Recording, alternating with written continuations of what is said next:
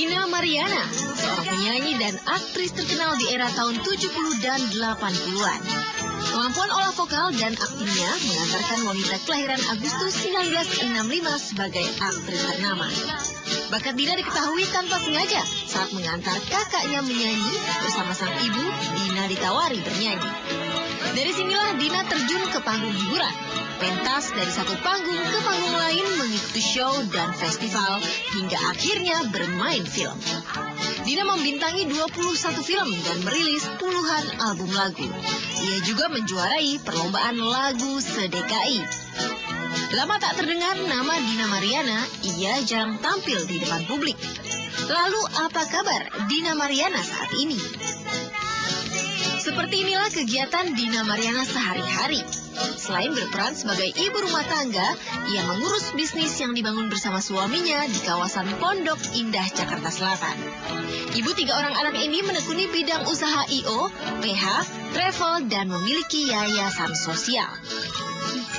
Eh, ya sebenarnya sih prinsipnya lebih baik eh, ada beberapa keran daripada satu keran gitu.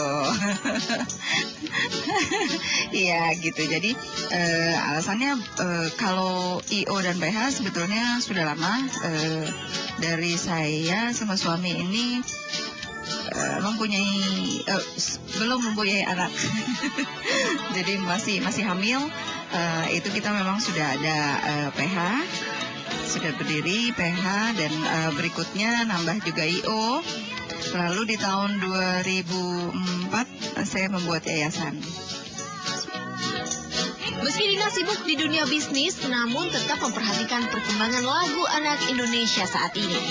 Dina menilai jumlah penyanyi anak saat ini lebih banyak dan berkembang dibanding di zamannya.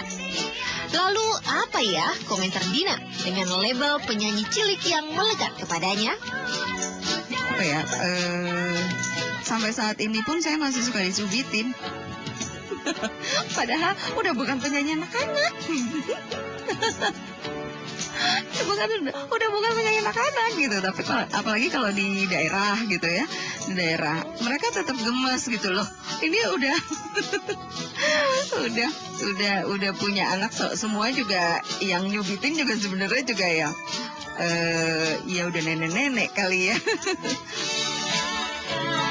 Dina menambahkan untuk mengembangkan bakat anak-anak, ia bekerja sama dengan Kementerian Pariwisata dan Ekonomi Kreatif menggelar Lomba Cipta Lagu Anak sejak tahun 2013. Demikian laporan Alfia Sudarsono dan Andi Isworo dari Jakarta.